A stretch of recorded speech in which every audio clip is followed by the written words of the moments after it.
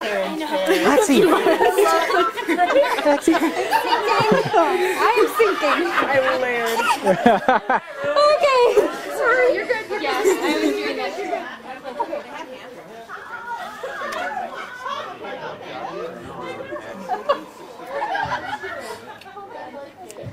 He's going. It's cool. It's cool. Not cool here.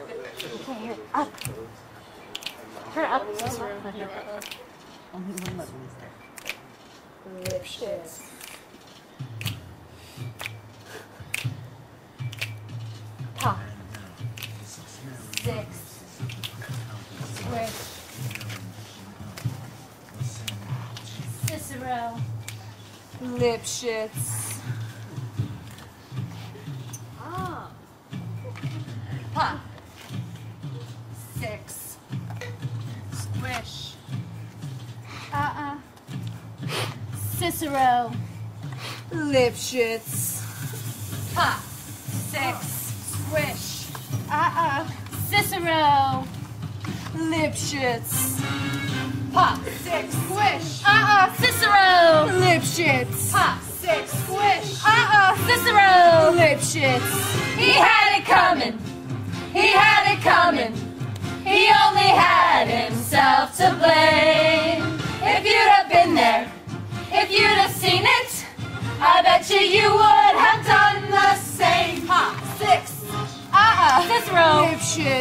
Lipschitz. Pop. Six. Squish.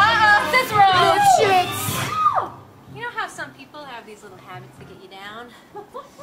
Like Bernie. Bernie liked to chew gum. No, not chew. Pop. So this one day I get home and I'm really irritated.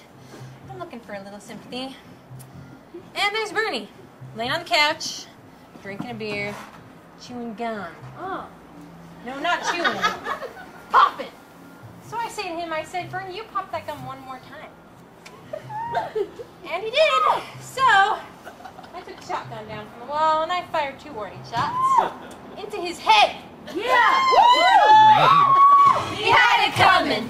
He had it coming. He only had himself to blame.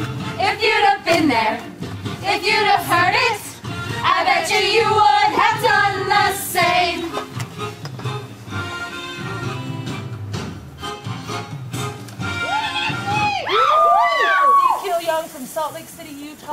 years ago. and he told me he was single. We hit it off right away. So he'd go to work, he'd come home, fix him his drink, we'd have dinner.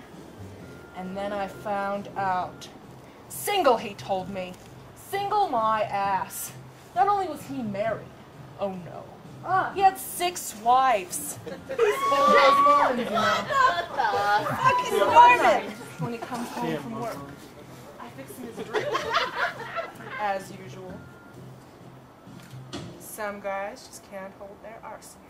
He had it coming. He had it coming. He got the power in his prime. And then he used it. And he abused it. It was a murder, but not a crime. I was standing in the kitchen carving up a chicken for dinner when in walks my husband Wilbert in a jealous rage. You've been screwing the milkman, he yells. And he was crazy. And he yells it again. You've been screwing the milkman. And then he ran into my knife.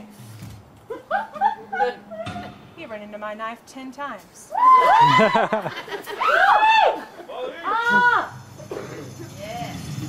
If you'd have been there, if you'd have seen it, I bet you you would have done the same. Ah. Ja nie byli mają. Yeah, but did you do it? Uh-uh. Not guilty. My sister Veronica and I had this double act, and my husband Charlie used to travel around with us. Now, for the last number in our act, we did these 20 acrobatic tricks in a row. One, two, three, four, five, splits, spread eagles, backflips, flip-flops, the one right after the other. So this one night, we're down at the Hotel Cicero. The three of us boozing, having a few laughs, and we run out of ice, so I go out to get some. I come back, open the door, and there's Veronica and Charlie doing number 17. the spread eagle. Whoa! Well, I was in such a state of shock, I completely blacked out. I can't remember a thing. Wasn't until later, when I was washing the blood off my hands, that I knew they were dead. coming.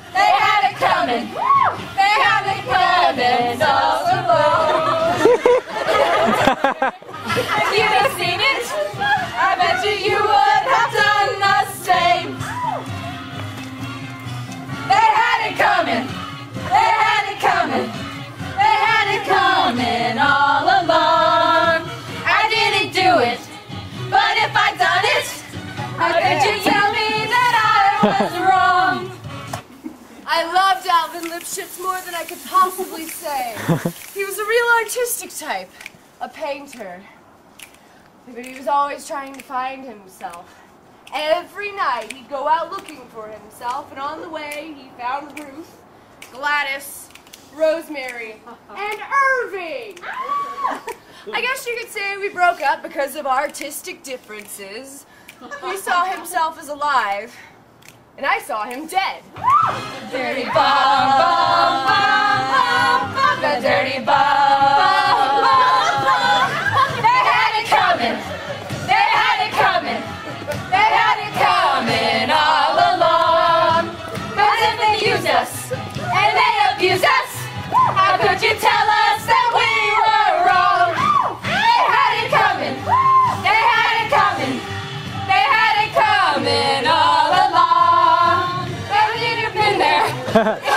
I bet you you would have done the same.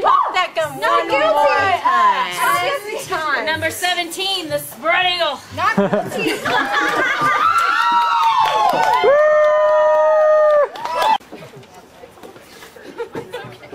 The song is a good reminder to treat your women well.